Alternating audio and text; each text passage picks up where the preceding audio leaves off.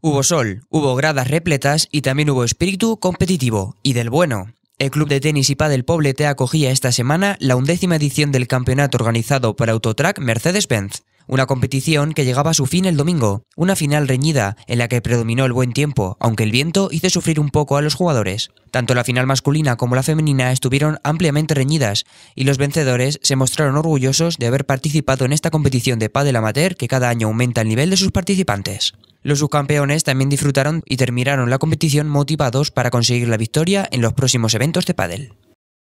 Bueno, pues ha pasado que hemos tenido momentos en los que podríamos haber ido igualando, pero lo cierto y la verdad es que las que han ganado son mejores que nosotras. ¿Qué tipo de estrategia habéis seguido para intentar ganar? La verdad es que nosotros seguimos poca estrategia, ¿no? Un poco jugar cada una como sabe, intentar complementarnos en la pista y, luchar, ¿no? Creo que esa es la estrategia que seguimos, pues no dar una bola por perdida y seguir adelante.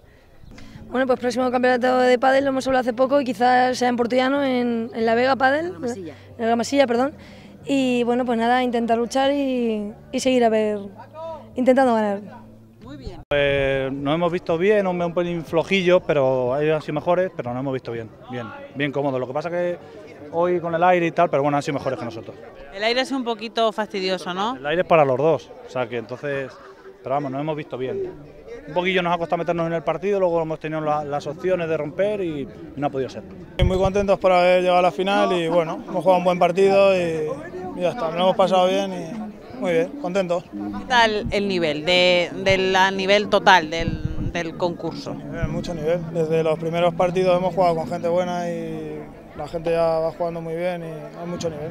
Hombre, una final siempre te pones un poquito nerviosa, pero bueno, luego vas entrando en el juego y vas metiendo más bolas y estando mejor. ¿El nivel del campeonato? Es un torneo amateur, así que aquí en Poblete estamos acostumbradas también a jugar y, bien. Yo creo que cada vez va subiendo más el nivel en el pádel femenino, así que a ver si poco a poco se nos hace un poquito más de caso a las chicas. ¿La estrategia de juego que vosotras seguís?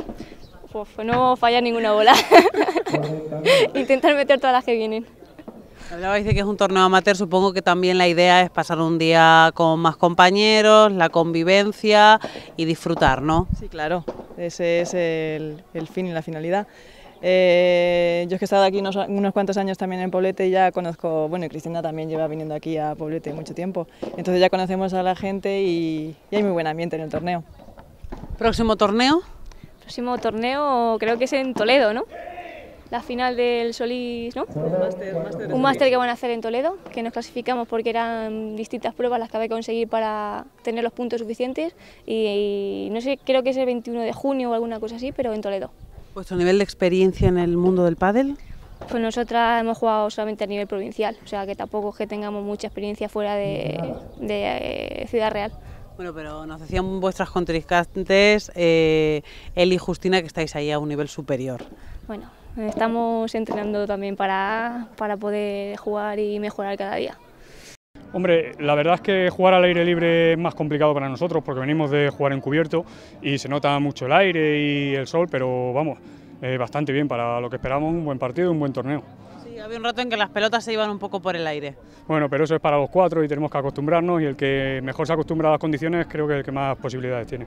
Bueno, habéis sido superiores la mayor parte del partido, ¿no?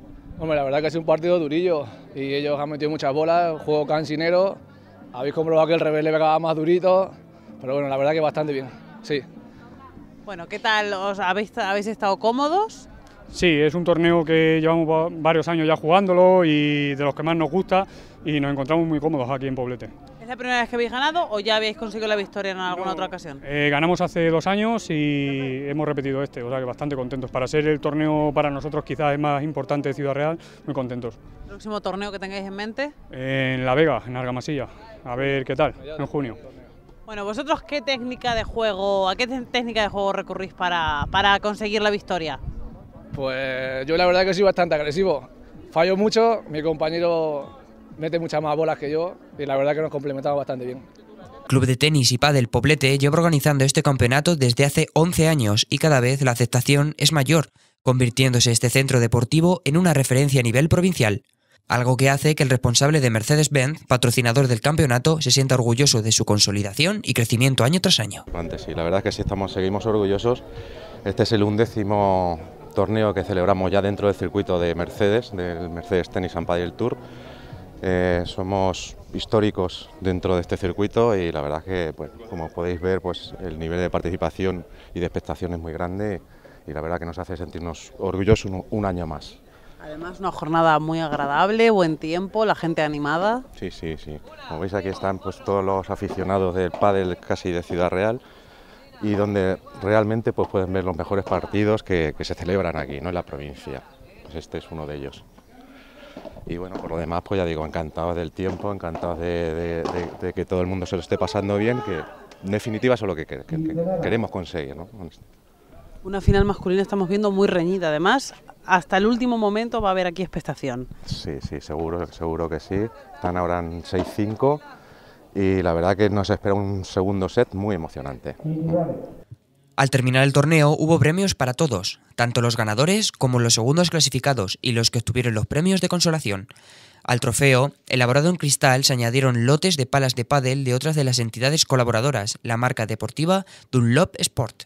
También hubo regalos para los espectadores. Entre los asistentes se sortearon varias pelotas gigantes, equipos deportivos Dunlop y relojes Mercedes-Benz.